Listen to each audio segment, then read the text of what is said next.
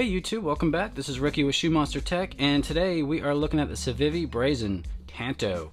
This one was passed down to me through Apex Knife Pass Around Group, so thanks guys so much for letting me check this out, and thanks to Civivi for letting us check this out. But before we get into the nitty gritties and all the goodies, guys, you guys go ahead and check out my Instagram page at Shoe Monster Tech. There you go. And uh, if you guys want to help support the channel, a little further, um, you guys can get on my email. Just hit me up there. And if you guys want to get one of these bad boys here, I will get back with you. All right, cool. Well, let's look into the specs on this one. Uh, overall length is 8 inches even. Uh, blade length is 3.5 inches. Cutting edge is 3.375 inches. Uh, blade width is 1 inch even. And the blade thickness is 0.12 inches. Uh, blade material is D2. Uh, we do have the Tanto on this guy here for your blade style. And the blade grind, it is flat. If you want to check that out there, there you go. Handle length is 4.5 inches. Handle width is 0.875 inches. Handle thickness is 0.48 inches. And yes, you got your black G10 uh, scales. And your liner is stainless steel.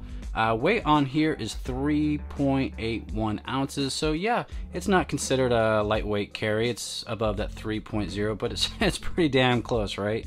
Um, user is right hand and left hand, so yes, you can switch up your pocket clip there, and it is uh, tip up carry, and you do have thumb studs, and you have a flipper um, on this guy here to deploy the knife or deploy the blade, so very, very cool.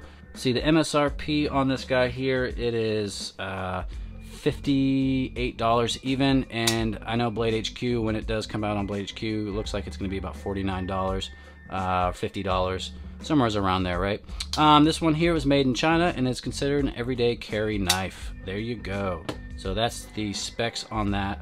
Um, you do have uh, deep carry on here, and uh, yes, you do have like a lanyard hole, um, almost like a lanyard post there on the back spacer. So there you go, lanyard junkies. All right, so let's do some size comparisons. Uh, let's look at your Spyderco Para 3.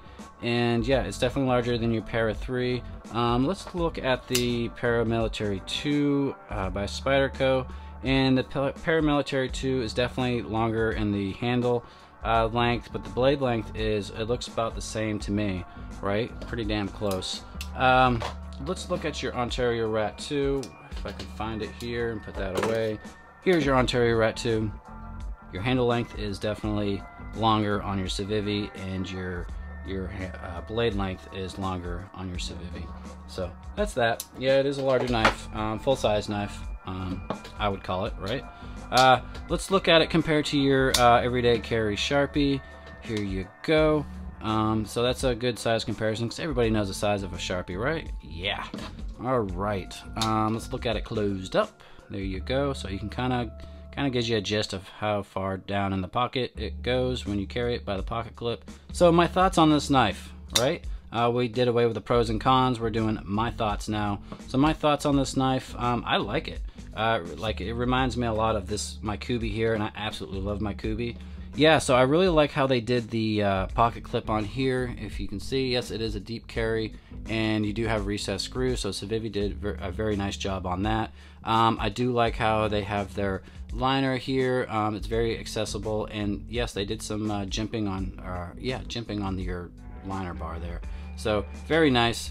Um, I do like they included a lanyard hole, and um, yeah, so there you go. Now the blade steel on this, it is D2, so very, very nice. I like D2 steel um, as far as a good budget steel.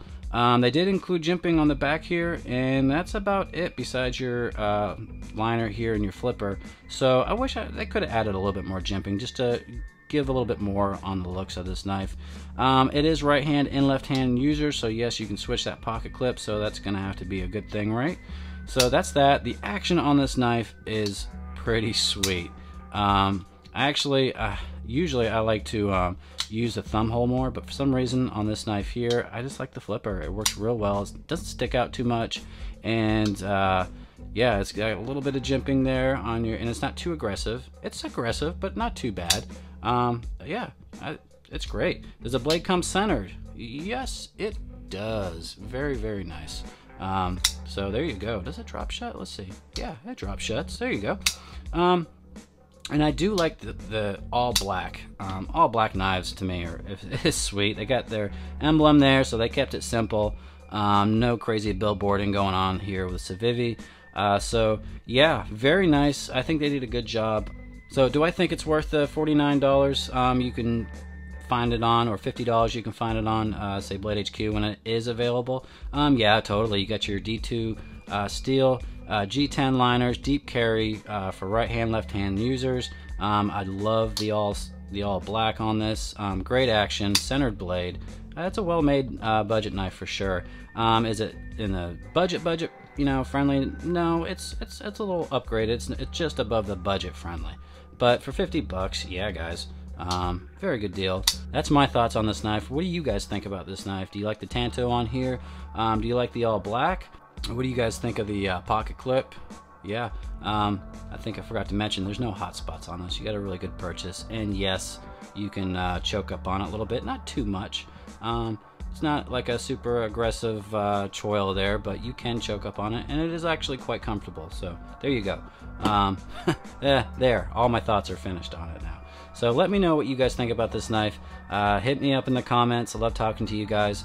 And uh, of course, smash that like button and uh, subscribe to my channel if you'd like to see more. And for you guys that have subscribed to my channel, you guys are awesome. I appreciate it. All right, that's it. You guys have a good day. Bye.